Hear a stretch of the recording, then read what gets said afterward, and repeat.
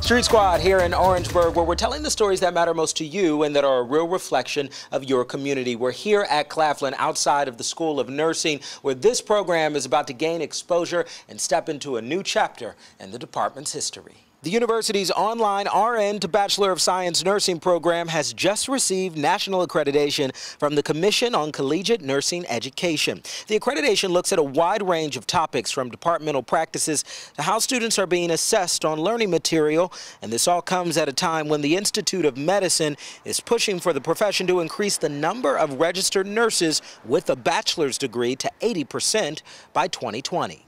The baccalaureate program helps the nurses to think beyond just caring for a group of patients. We want them to think evidence-based nursing. What is the research that's available to support the nursing care that we give to our patients?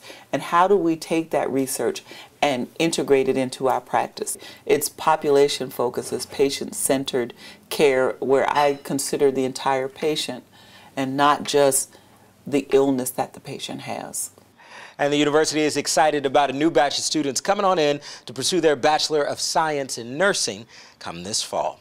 Reporting for Street Squad Orangeburg, I'm Michael Fuller.